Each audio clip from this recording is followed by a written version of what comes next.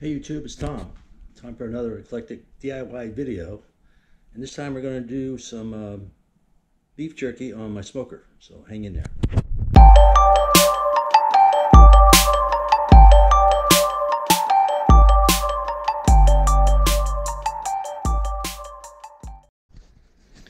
Okay, so here's the setup. We got four pounds of top round. Actually, it was four pounds. This is how much fat I cut off of it. You don't want that on your on your jerky. So probably down to uh, maybe 375 now or something like that.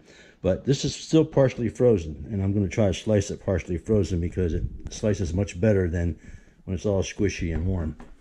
So here's the ingredients for the brine, and I'll put this down in the comments. Um, the wine is for me, however. And here's my container that I'm going to um, 24 hour soak on the, on the brine. So that's about four cups, maybe five cups of, of liquid in there, but all that's going to be displaced by the jerky, and we'll get into that. Over here, I got my slicer. Uh, it's a Krups. It's it's nothing great. It's it's cheapy, but boy, it works. It does a job for me.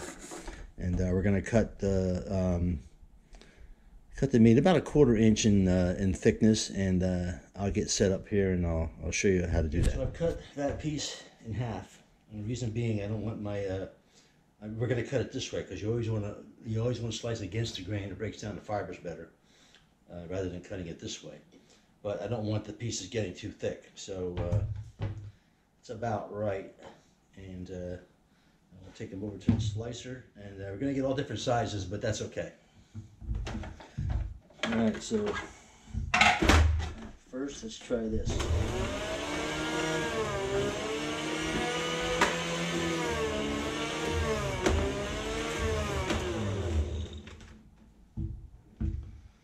There's our first few pieces. That's about, oh, maybe 3 sixteenths of an inch. Don't forget it's going to shrink, it's going to get a lot smaller. I might want to bump this up just a tiny bit more. I'm going to go right into the brine.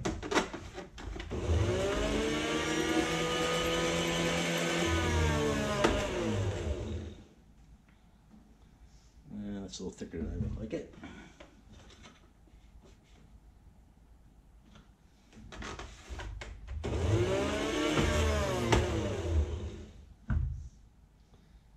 Uh, that's that's pretty good. So it's about a little over an eighth of an inch. A quarter of an inch, I think, is a little too much.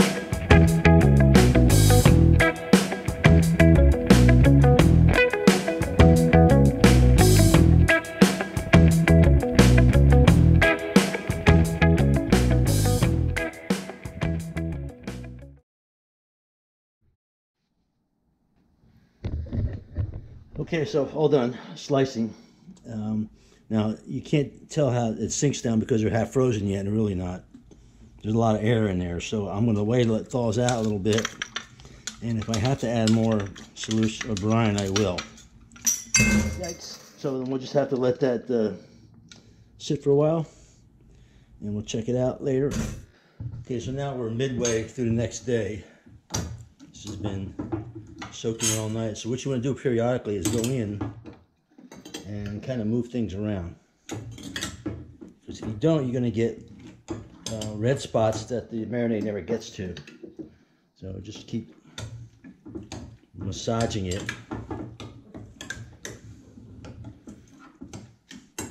And then try to get everything underneath the liquid. And later on tonight, do our thing. Okay, so let's get ready to rack this thing. Uh, I have a Masterbuilt smoker.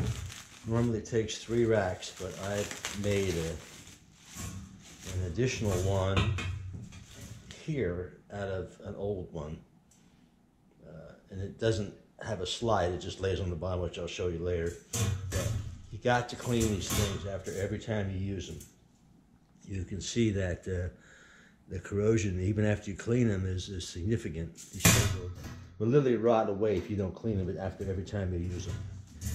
So let's uh, get everything uh, split out here and uh, move on. Okay, we're all set up here to go. Paper towels and the racks. One thing you want to notice is that these are kicked up.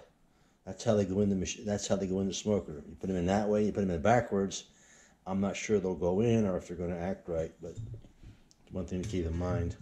The thing I'm going to take these out of the container and I'm going to dab them dry. Never, ever, ever rinse it. If you rinse them, you're going to rinse all the seasoning off and they're going to really taste like crap. So uh, let me show you how I do it. Got my little grabbers.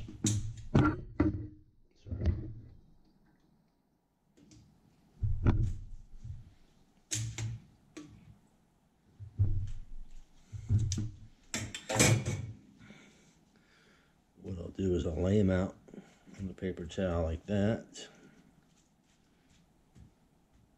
We're gonna grab a top piece and I'm just gonna dab to get the water, heavy moisture off of them. Now some guys lay them across and hang them down. Uh, I don't do that because what'll happen is they'll clip together and they're gonna they're not gonna they're not gonna smoke properly. So I always uh, lay them out. And this is a, a pain in the butt process, but um, we gotta do it. I'll probably end up speeding up the film here so you can see it faster.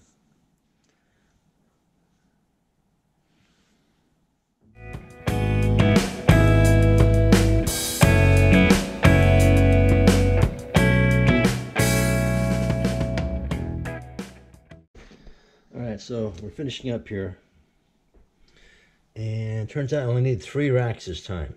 The last time I bought a four pound um, top round, I needed the, the fourth rack, which by the way is an old um, microwave rack that I sawed off and just kind of wired here so it fit and just laid it on the bottom. And so it's a function of how much fat I had to cut off and how thick uh, you end up cutting the meat.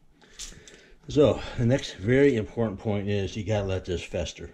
You gotta let it sit here for at least half an hour, 45 minutes so it caramelizes over the top. And uh, what we'll do is we'll put it in the smoker. And I let the smoker get up to about 100 degrees um, and I'll put them in and then I'll put the chips in. So when it's going from 100 to 200 you get a nice hot burner and you get a lot of smoke. And uh, I'll cover that when we get there. Okay we're ready to start uh, um, at least wrapping our uh, devices here with the foil. You can see with from the last time I did it um, this was covered with foil, but I, I took the foil off and washed it a while ago. We're going to do that to keep uh, keep uh, the uh, mess down to a minimum. So right now we're still waiting for our 45 minute uh, soak out here, dry. And uh, it smells rather pungent, but uh, to me it's kind of like sniffing roses. You may not think that, but uh, it smells pretty good. This is the main drip pan. This is going to catch all the drippings if you didn't do this, it'd be a mess to clean up, especially with all the heat underneath it and the caramelizing around the edges. All right, so now we're at the smoker.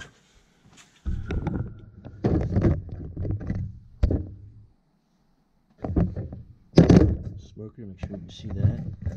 Um, this has not been cleaned. Often, once in a while I do it, but I don't do it every single time. But I'm lazy, basically.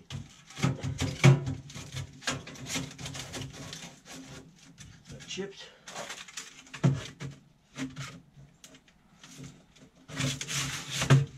My pan deep side here. And this is where I would lay that other rack. I would lay it right on top of this, that, that rack I had made. The other one's go one, two, and three. Okay, so we're going to get started here. It's in the high 30s right now. It's winter time, so what's going to happen is I'm going to get a lot of steam out of here. In the summertime, you would see whenever you got uh, smoke out of there, you know it's smoke. But now you're going to have steam mixed with the smoke until the whole thing's done. So you're really not going to know that. But plugging in helps. I'm going to use hickory chips. That's usually what I use. To set my temp at 38 degrees right now. I set my temp to 200.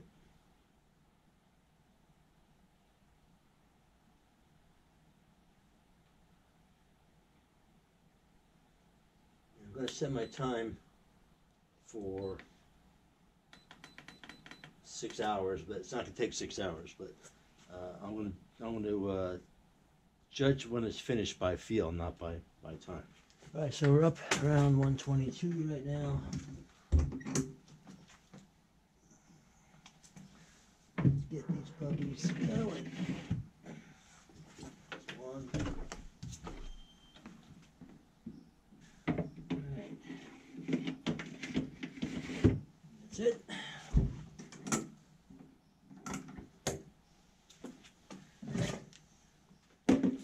Now,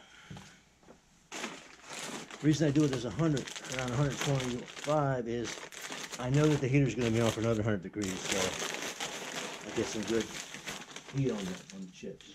Ouch, it's hot. If you're smoking, they use chunks, it doesn't make any difference. I don't pre-soak anything.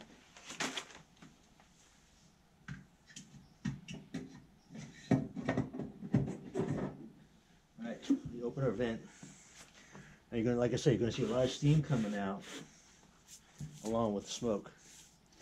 I never use more than three three uh, bales of chips. It gives you plenty of flavor. Any more than that, uh, I don't think it's going to be unhealthy. You're going to get benzenes and other things stuck to the meat. Uh, this uh, has gives you plenty enough uh, taste of the smoke. So we'll let it go, and I'll I'll show you what happens in the next next panful. Okay, been 45 minutes. You can see how that steam's coming out of there.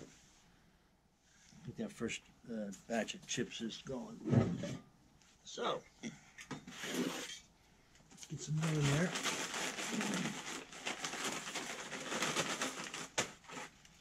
Temperature's running around 201 right now.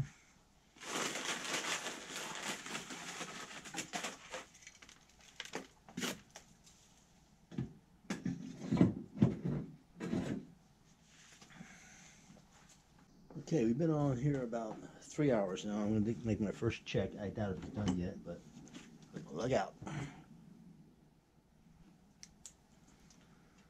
Well, first off, spongy, no good, and it's not black yet, guys. We're done. Um, I actually took a bite of this guy here, and the texture is good.